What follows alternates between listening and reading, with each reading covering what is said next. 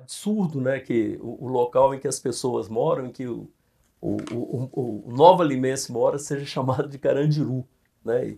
É, somente é, essa alcunha já deveria nos deixar envergonhados, né? E, é, mas a gente tem é, é, uma convicção, é, até por experiência própria, né? Porque a gente no governo em que a gente trabalhou, a gente a gente construiu casas populares, né?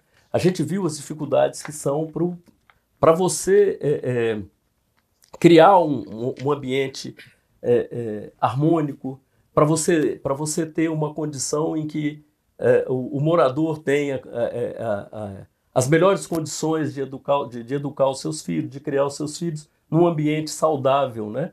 E é obrigação do poder público, é obrigação do prefeito, né? Criar para todos os novalimenses as melhores condições possíveis de moradia. Então a gente vê da seguinte forma: quando a gente diz que vai fazer dois conjuntos habitacionais no primeiro ano de governo, a gente quer impactar. A gente quer impactar mesmo, porque é, é muito triste a gente ver que nos últimos, sei lá, 15, 20 anos não tem construído uma moradia em Nova Lima. Isso é para nós é um absurdo. Não, não é possível que uma cidade como Nova Lima, um município que tem uma, uma extensão territorial tão grande e uma densidade demográfica tão, tão rara, tão rarefeita, e ainda tenha problemas de moradia na, na, na, na, no, na, na sua sede histórica. A gente anda pela sede histórica, a gente vê os problemas de mobilidade, os problemas todos, é, essa, é, é, essa cidade tão conurbada, é muito por conta disso, porque é, é, os nossos filhos nascem é, é, vão, se casam e não têm condição de ter uma moradia. E o que se faz é um puxadinho, é, é um terraço, o terraço vira um apartamento, um puxado, e aí as condições de moradia são precárias. Né? Então, é, essa é, é, é a origem do problema. Infelizmente, a gente não ter um desenvolvimento linear de construção de moradias na cidade. A gente tem um hiato de 20 anos sem construir uma moradia, é um absurdo. A gente tem pelo menos três gerações que se formaram e que não tiveram condição de ter a sua casa própria. Então a gente diz, vai construir dois, é, é dois conjuntos habitacionais, é para dar um choque mesmo.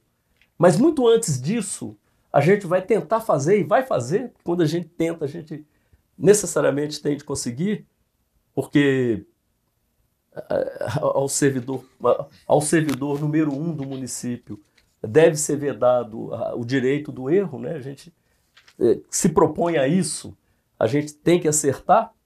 É, a gente acredita que primeiro a gente vai criar as condições. A gente vai criar as condições. A gente vai induzir o, o, o desenvolvimento. A gente vai levar o Estado, a gente vai levar a prefeitura para a região na qual nós vamos construir essa, essas, essas moradias. É, é, é, é, o serviço tem que chegar antes do morador. Então, quando, quando o conjunto habitacional estiver pronto, quando a primeira casa for entregue, também vai ter que ser entregue a escola, creche, é, uma UPA, é, serviços de transporte, é, a infraestrutura de saneamento básico. Todos esses serviços é, primordiais e essenciais, eles têm que anteceder a, a, a, a, implantação do, do, do, do, conjunto habitacional. Ah, o Carandiru a gente volta ao Carandiru. Tem essa alcunha, é, é porque, infelizmente, essa alcunha é que melhor representa as condições dos moradores lá nesse momento. E isso é um absurdo. Isso não é humano e isso não é aceitável, principalmente para uma cidade como Nova Lima, né? que a gente tem o orgulho né, de dizer que nós somos uma cidade rica.